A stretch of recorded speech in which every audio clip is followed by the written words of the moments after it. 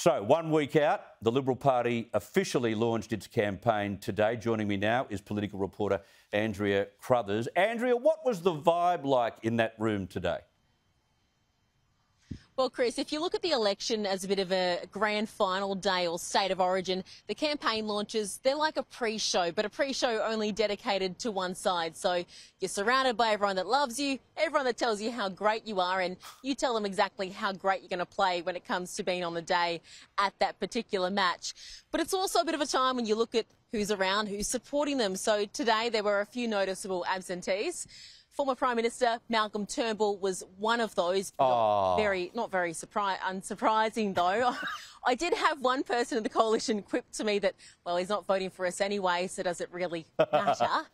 there was also a stood aside Cabinet Minister Alan Tudge, who we've been told will be returned to the education ministerial position if they are re-elected. He wasn't anywhere to be seen. That's also not that surprising.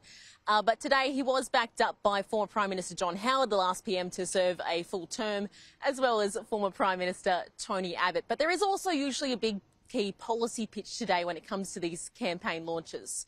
So today the Liberals, they focused on housing. This has been a key election issue, particularly when you look at affordability and the risk around affordability off the back of the pandemic. So this was about a super housing scheme, which effectively means that first home buyers, they can dip into their super savings, get up to $50,000 out or 40% of those super savings, and then be able to purchase a house. It would be something which would be implemented from next July.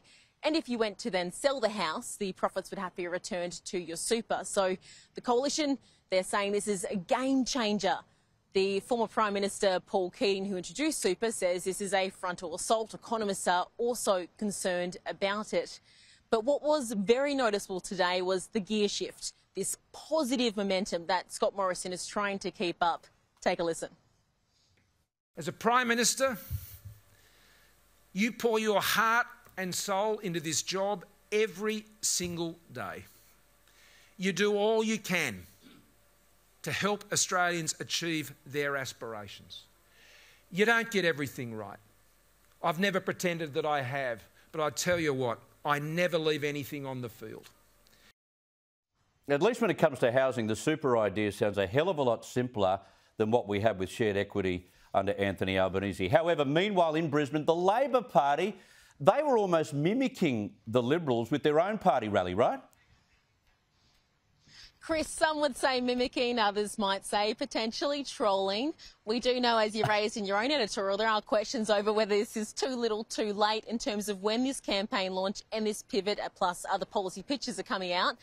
But Labor, they held their own rally in Western Australia, the other side of the country, uh, a little bit ago, but today it was the Liberals' turn. So Labor doing that. But we do know that Queensland is really important in terms of who forms the next government because currently the coalition, they go into this fight with 23 of the 30 seats in Queensland. It was what helped Scott Morrison secure his miracle election win in 2019. So this is one of those states to watch in terms of who will be leading our next parliament. And quite frankly, if Labor can't pick up seats here, it's going to have a really tough time forming a government in its own right. Yeah, you're not wrong part of the world. Andrea Crothers, thank, thank you so much for that. Appreciate it.